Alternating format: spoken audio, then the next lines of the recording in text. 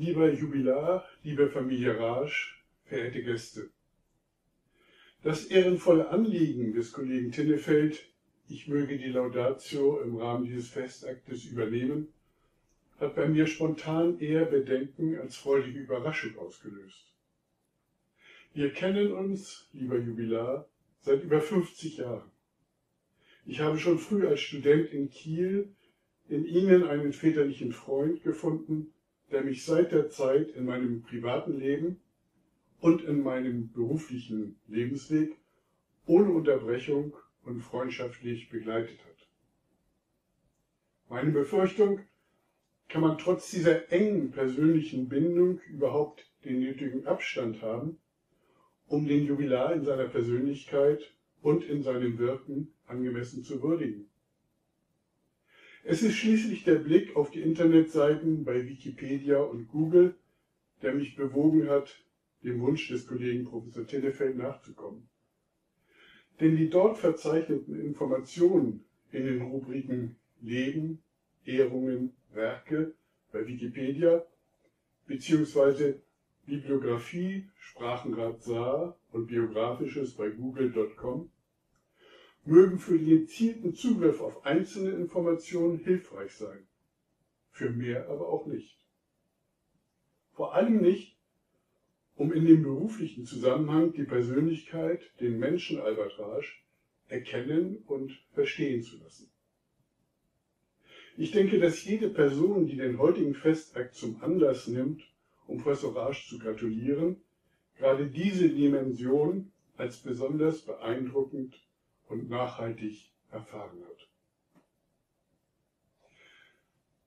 Eine der ersten Publikationen von Albert Rasch, die ich am Ende der 60er Jahre gekauft habe, ist die Anthologie motivgleicher französischer Gedichte, die 1965 bei Diesterweg erschien und die den Titel trägt Thèmes et variations dans la poésie française du 15e au 20e siècle. Variations, diese beiden Begriffe in ihrer Verknüpfung, bieten eine geeignete Hilfe für einen nach Strukturierung suchenden Laudator angesichts der vielfältigen Lehr- und Forschungstätigkeiten sowie eines facettenreichen und intensiven Engagements der zu ehrenden Person über Jahrzehnte hinweg.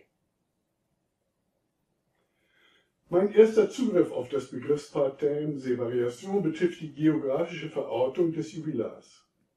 Um zu verdeutlichen, was ich damit meine, nehme ich Bezug auf die folgende kleine Begebenheit.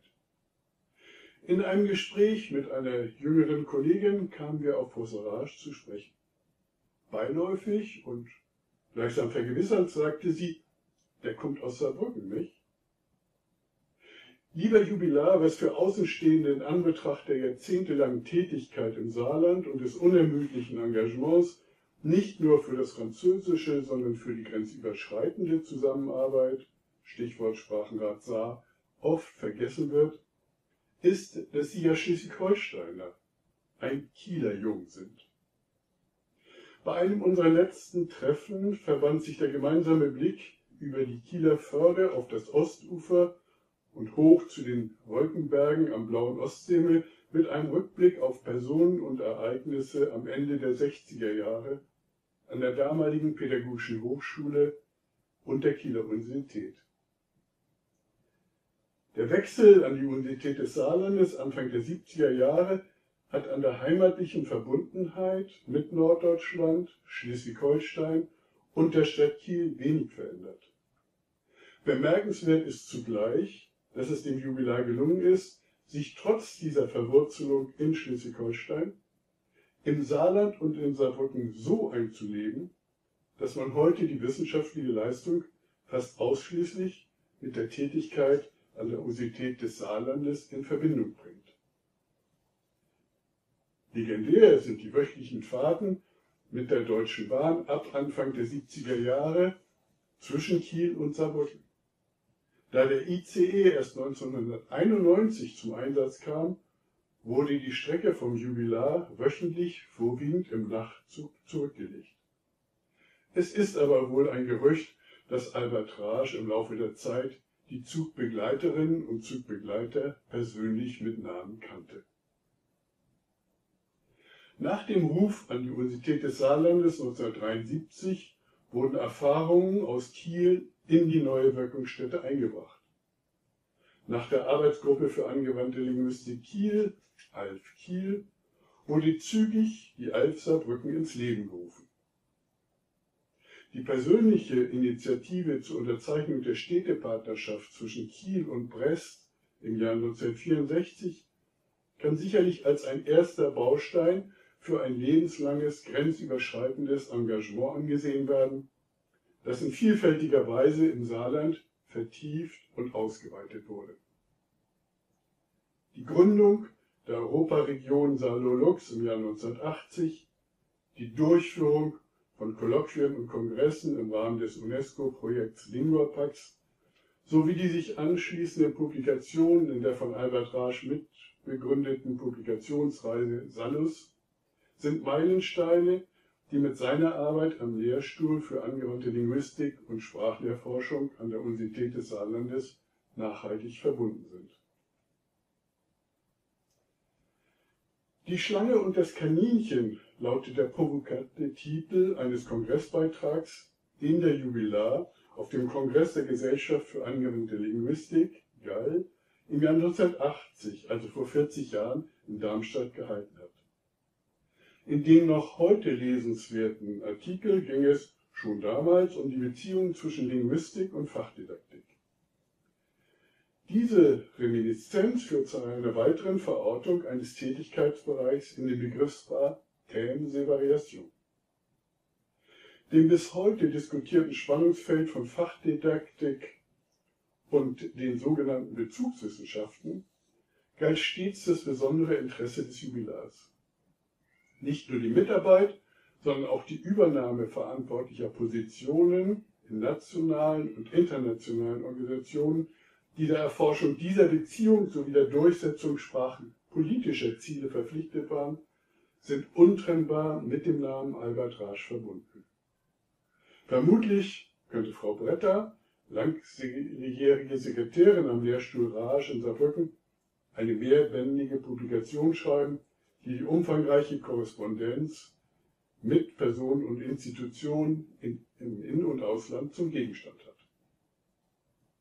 Es waren oft unruhige Zeiten und Entwicklungen, in denen einerseits die wissenschaftliche Expertise, andererseits eine Mittlertätigkeit bzw. eine Bereitschaft zur Schlichtung und Übernahme von Verantwortung durch Albert Rasch gefragt war. Drei Institutionen seien stellvertretend für andere genannt. Studierende in der Lehrveranstaltung zum Wortschatz lernen kannten schnell die Unterscheidung zwischen Type und Token und wussten unter anderem zu erklären, was ein Nimusoi ist. Sie waren aber ebenso durch Albert Rasch informiert über Ort und Datum des Jahreskongresses der GAL und nach dem Erscheinen des Kongressbandes wurde die Publikation im Seminar herumgereicht. Kurze persönliche Rückmeldung zu Kongressthemen und Diskussionen der GAL und der internationalen Organisation EILA führten Studierende sowie Mitarbeiterinnen und Mitarbeiter in das Zentrum sprachwissenschaftlicher und fachdidaktischer Forschung. Diese Wirkung nach außen verband sich mit einem starken Engagement für die GAL nach innen, in dem in Krisenzeiten dank der Persönlichkeit des Jubilars Brücken gebaut und Gräben zugeschüttet wurden. Albert Rasch hat Verantwortung übernommen und auf diese Weise einen maßgeblichen Beitrag für das Überleben der Gesellschaft geleistet. Nicht weniger engagiert war die Mitarbeit im Fachverband Moderne Fremdsprachen, FNF, heute GMF. Auch dort war es das hohe fachliche und menschliche Ansehen, das die Sache vorangebracht, hitzige Debatten zwischen Personen geglättet und in vielen Fällen zu einem Ausgleich der Interessen der Landesverbände mit dem Interesse des Bundesvorstands geführt hat. Die jahrzehntelange Tätigkeit als Mitglied der Schriftleitung der neusprachlichen Mitteilung aus Wissenschaft und Praxis war geprägt von dem Bestreben, diese Zeitschrift zu einem anspruchsvollen Forum wissenschaftlicher Erkenntnisse mit Blick auf das Lehren und Lernen von Sprachen zu machen. Mit den von Albert Rasch gegründeten Zeitschriften Französisch an Volkshochschulen und Zielsprache Französisch wurde einem weiten Publikum der Blick auf den Bereich der Fremdsprachenvermittlung im Erwachsenenbereich gelenkt. Die Tätigkeit für den Deutschen Volkshochschulverband ist deshalb so bemerkenswert, weil damit ein Arbeitsfeld der Fremdsprachenforschung in den Blick der wissenschaftlichen Diskussion gerückt wurde, der es erlaubte, innovative Ansätze weitgehend ungeachtet administrativer Vorgaben bei der Fremdsprachenvermittlung umzusetzen und der die Orientierung für das Lehren und Lernen von Fremdsprachen im Erwachsenenbereich in den Kontext eines lebenslangen Lernens stellte. Der Titel der Lehrveranstaltung im Sommersemester 1970, also vor 50 Jahren, lautete Der Sprachentest und seine linguistische Problematik. Die Einführung des vom Jubilar mitentwickelten VHS-Zertifikats löste in Kooperation mit dem Goethe-Institut und dem Europarat in Straßburg eine Neureflexion zu Zielen und Inhalten sowie vor allen Dingen Abschlüssen des Fremdsprachenunterrichts in Europa aus für die unter anderem heute die Begriffe europäischer Referenzrahmen und Bildungsstandards stehen. Das Gespür, neue Entwicklungen zu antizipieren und die Entschlossenheit, sich nicht auf einer Person, auf einer Position auszuruhen, sondern etwas zu bewegen, nach vorne zu bringen, zeichnen Albert Rasch bis heute aus. Ob es große nationale oder internationale Kolloquien wie etwa Lingua Pax 3 im Jahr 1990 in Saarbrücken, oder kleine Fortbildungsveranstaltungen mit sechs bis zehn Damen und Herren waren, die als Unterrichter an einer Volkshochschule in einer schleswig-holsteinischen Kleinstadt für ihren Unterricht dazulernen wollten, immer war die Bereitschaft da, sich mit der eigenen Arbeitskraft für die Sache einzusetzen. Thème et Variations mit Bezug auf die Person Albert Rasch muss auch einen Abschnitt enthalten, der dem Arbeitsethos des Jubilars gewidmet ist. Es geht um die Frage, woher Albert Rasch die Energie genommen hat, um über Jahrzehnte in herausragender Weise in Lehre und Forschung zu arbeiten und sich zugleich in so vielfältiger Weise für den Fremdsprachenunterricht sowie die deutsch-französische Verständigung zu engagieren, ohne dass man irgendwann Missmut, Unlust oder Anzeichen eines Burnout spürte.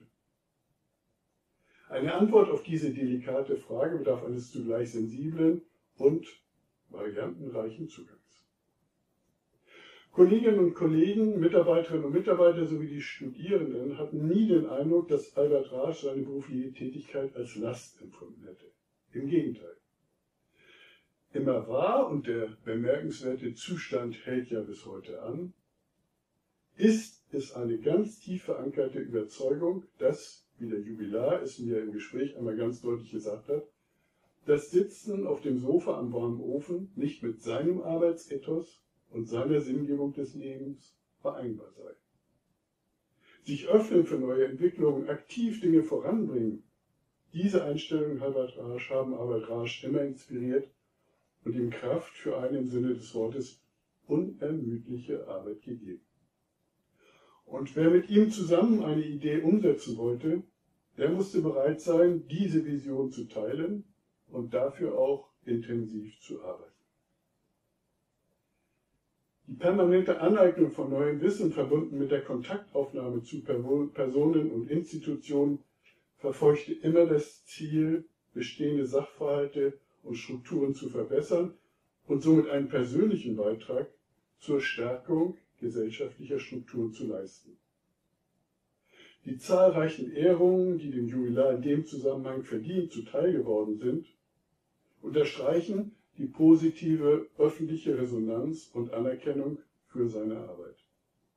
Aber entscheidender war und ist dem Jubilar, dass seine Innovation und Vision in vielen Bereichen gelebte Realität geworden sind. Die Gründung des Sprachenrates Saar im Jahr 1991 ist dafür ein markantes Beispiel. Ein zweiter Faktor ist sicherlich ein bemerkenswerter Umgang mit dem Faktor Zeit. Nach dem Urteil nahestehender Personen zu urteilen, gab es für den Jubilar nie eine vorab definierte zeitliche Grenze für die Arbeit im Tagesablauf. Sicher bedeuten die Durchführung von Lehrveranstaltungen, die Teilnahme an Sitzungen universitärer Gremien oder das Gespräch mit Kolleginnen und Kollegen eine Begrenzung der Zeit für die persönliche Arbeit. Aber schließlich gab es ja noch die Abendstunden im Arbeitszimmer bis Mitternacht oder länger, die bereitwillig und ohne Bedenken genutzt wurden. Schließlich darf ein sehr persönlicher Aspekt nicht unerwähnt bleiben. Ich erlaube mir zu sagen, dass aus der Familie Kraft für die bemerkenswerte Lebensleistung erwuchs.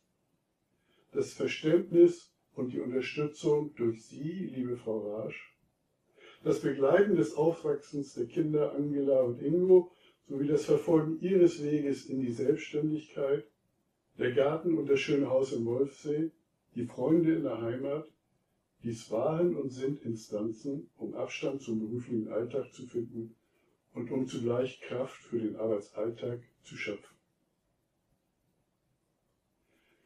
Die Überleitung zu einem letzten Kapitel unter dem Stichwort Thèmes et Variations schließt sich nahtlos an.